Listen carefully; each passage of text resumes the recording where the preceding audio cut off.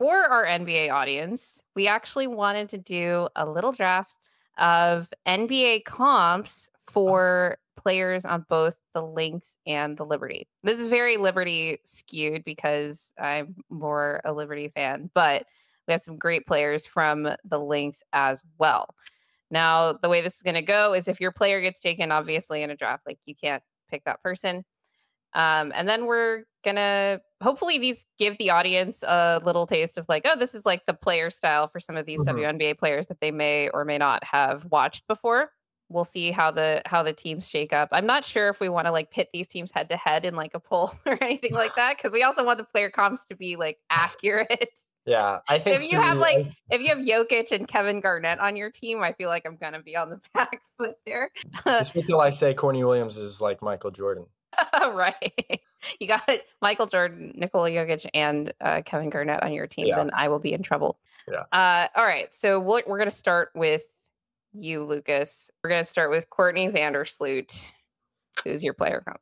Kind of easy. I will go Andre Miller. Um, oh. I, it's it might be a little easy when you think of like table setting, floor general, and obviously Sloot has like peak higher as like genuinely getting MVP votes.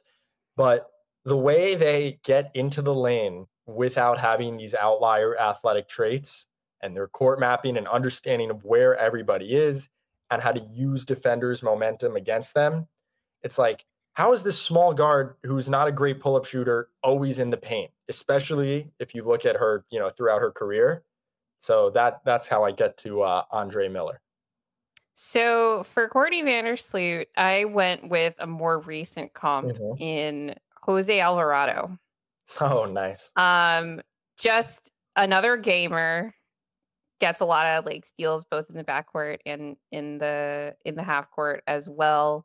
Um, sometimes can be a bit hesitant to shoot, but they he comes onto the floor and the entire like tenor of the game can change, or maybe it's just when the Pelicans play the Nuggets. Yeah. And then for Sabrina, I'm gonna go with CJ McCollum because of the three point shooting, the off the dribble game has a little bit more juice from the perimeter than like say athletic explosion at the rim, but also has evolved into more of a playmaking role as he is also right. tried to reclaim the glory of the combo guard at this stage in his career.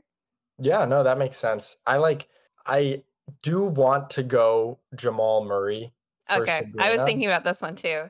And I I you know, there are times where she looks like Steph, but you know, you can't just pull out Steph and, and things like that. Um, you gotta reserve his name.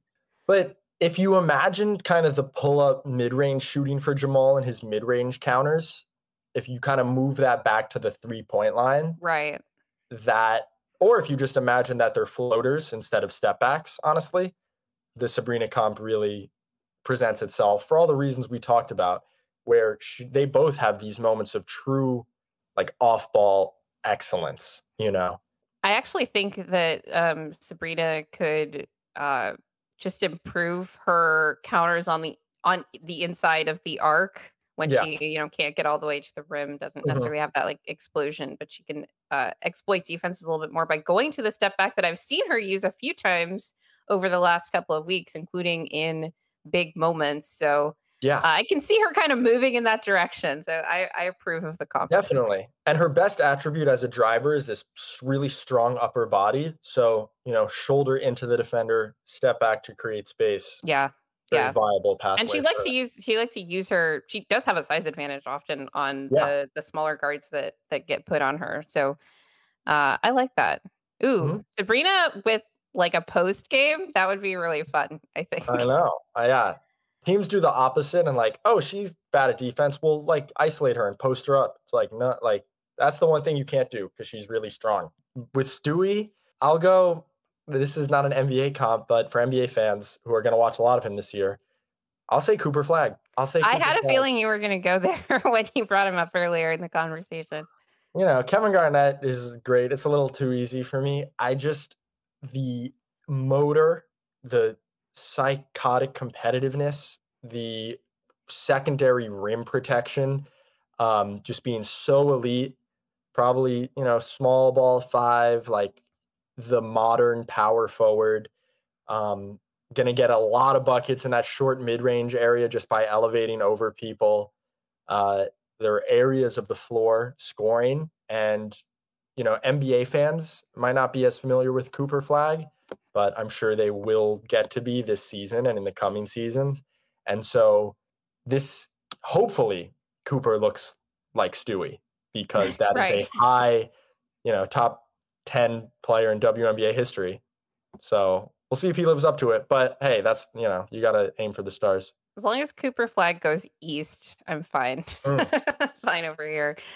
Um, okay, for Stewie, this one is actually courtesy of my fiance. He's watching her yesterday with uh he commented on the motor like we mm-hmm. talked about and all of that and even on offense the areas of the floor that she attacks really reminded him of Pascal Siakam Oh, uh, I like and it. I was like, oh gosh, that's actually a perfect comp.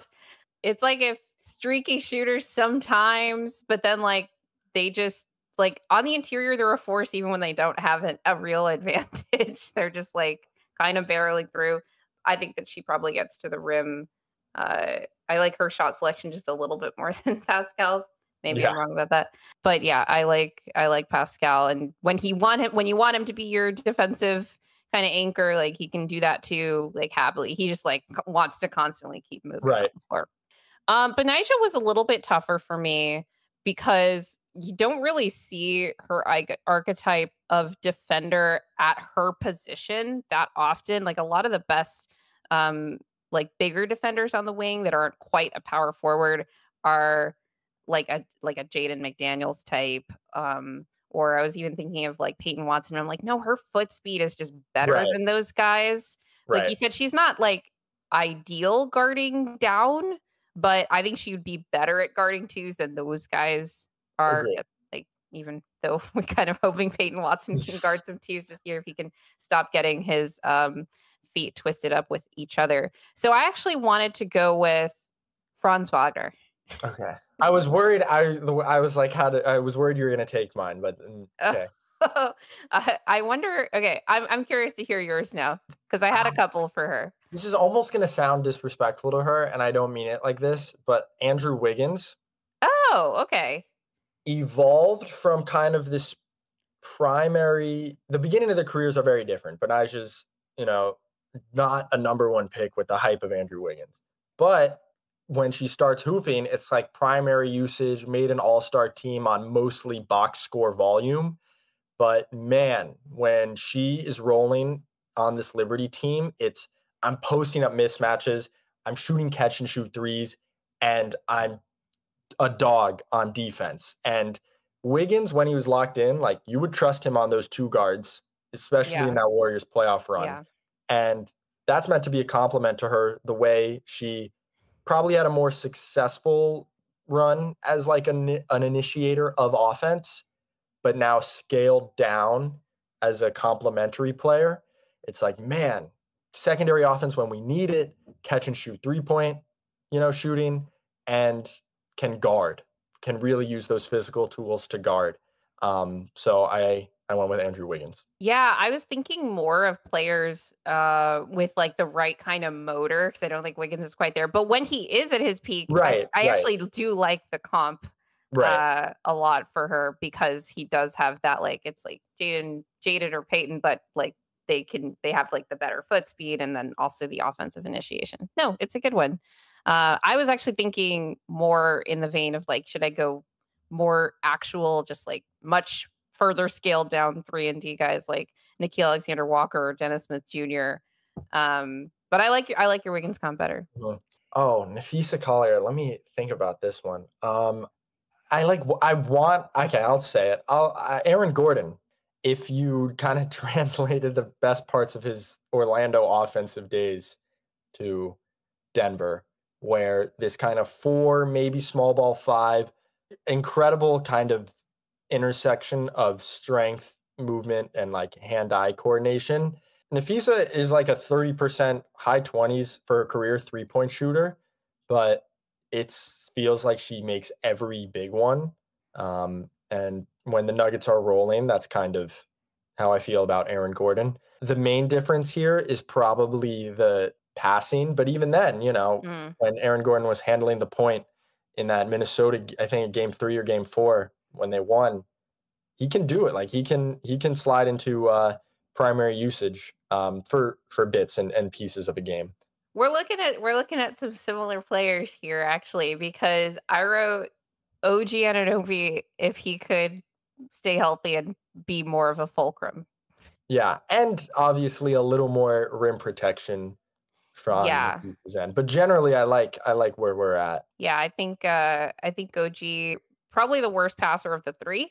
Um Yeah.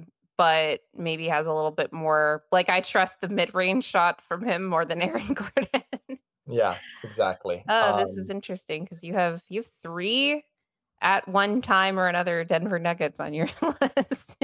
I do, and you have, you I don't think I have any. What's going on there? No, all of my my Nuggets are unique players. They have no they have no uh This is because you comparison. know them more.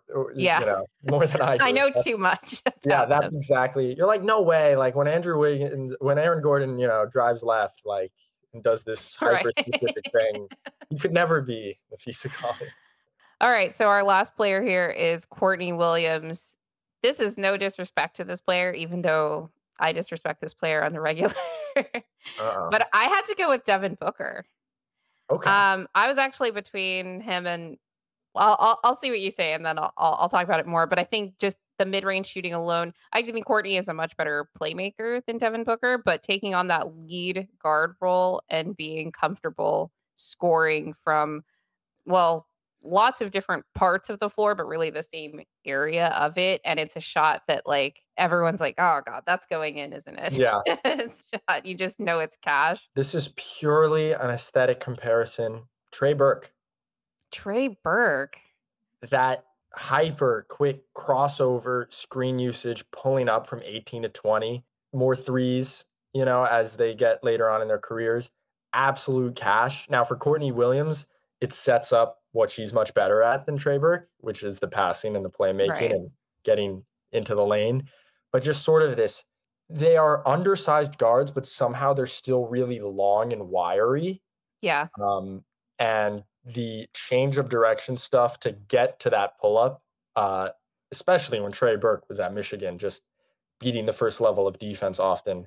So I will go, I'll go with Trey Burke, and I feel like they kind of have. I need to like watch Trey Burke, which I have not in a long time, uh, understandably, shoot because I I feel like there's some similarities with the way they shoot the ball, but yeah, I will go Trey Burke. Um, this is funny. I kind of went the opposite of what you were worried about with KG and Michael Jordan. I'm Yeah. starting.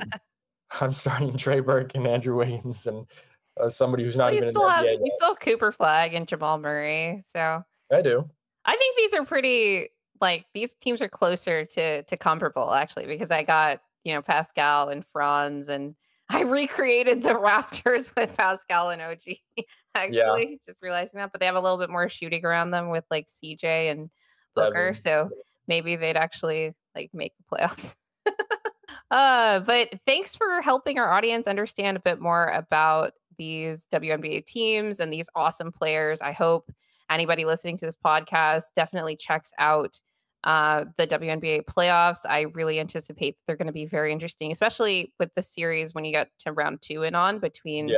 the the teams that are at the top of the league right now. Just really high level basketball um, from everyone there. Lucas, is there anything else that you want to plug for our audience? Any articles you're working on? Any projects that you want people to check out? Uh, not nothing specific. I hope to have not to you know, knock on wood, but Aces scout for round two. I hope to be really good because I we've known this is a probable playoff matchup for a while, so I really want to dive into that. That's going to be coming out hopefully in the next couple weeks. But other than that, just continued Liberty coverage uh, on my Twitter on Nets Daily, where the Nets training camp starting up soon. And yeah, that'll be where all my stuff is. I'm doing some more work with the Nets themselves, Nets film focus type things where we look at players' games and, you know, kind of an X's and O's breakdown for a larger audience. So I got a lot of things coming. And uh, yeah, I'm happy, really happy to have been on. Um, so yeah, thank you. Yeah, and we were really happy to have you. Um, you know, just having somebody who actually covers the teams in depth because I I'm really especially with the WNBA I have so much less like experience even like deeply analyzing really any of these games. So I just wanted to make sure right. that our audience got, you know, the highest possible quality content in uh, informative content on everything going on to really do it justice because it is a league that is you know really starting to to boom in popularity and i think it's uh, awesome that that's the case but you know people need to you know have quality sources of information for yeah. their uh, WNBA analysis.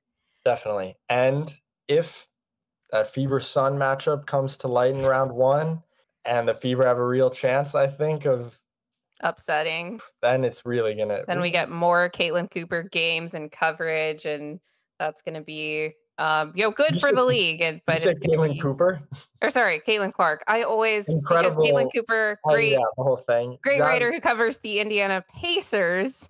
Only someone with supreme ball knowledge would make that mistake. But that was that was that's awesome. Good. I'm was, glad that that's the explanation. That's a great note to end on. Yeah. Uh, awesome. All right. Okay. So, for everyone listening, over half of you are not subscribed. So, if you do like our content, please remember to subscribe. And then always remember that winning is fun and losing sucks.